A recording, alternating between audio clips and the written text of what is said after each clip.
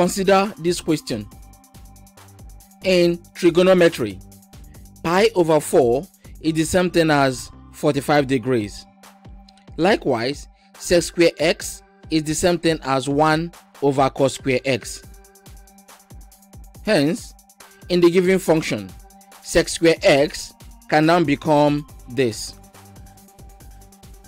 And using this concept in step number 1, which is direct substitution, we are now going to have an indeterminate form of result. Next, step number 2. Apply L'Hopital rule. And here we got two options.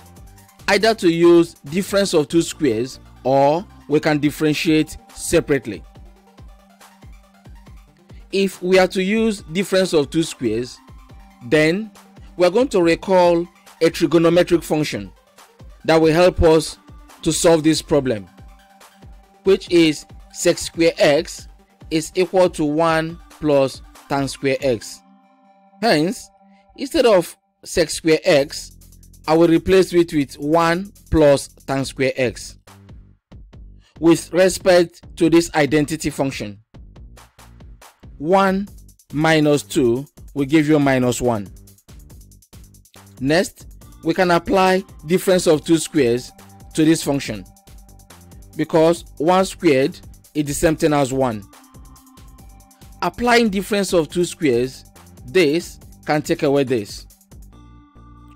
Next, we now take the limit of the remaining function.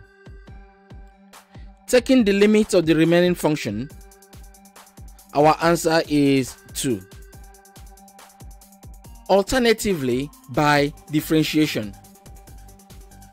This and this function both are the same. Sec squared x is the same thing as sec x all squared. Differentiate sec x all squared and your answer is 2 sec x tan x multiply sec x. Next, differentiate 2 and your answer is 0.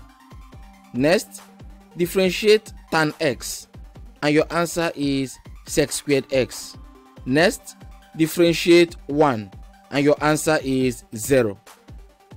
Next, sec x is the same thing as 1 over cos x and tan x is the same thing as sine x over cos x. Sec x is 1 over cos x and sec square x is the same thing as 1 over cos x all squared. Pi over 4 is the same thing as 45 degrees. Hence, you take the limit of this function. Wherever you see x, you substitute 45 degrees. Substituting and solving carefully, your answer is 2, which is the same as we got earlier.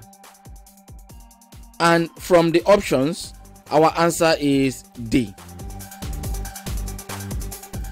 Next, complete this question.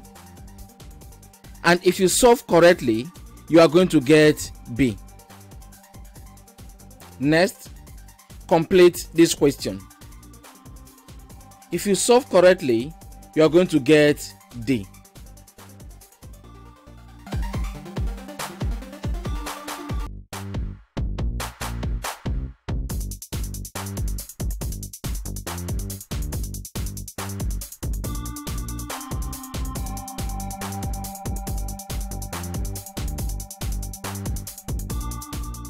in pre-calculus.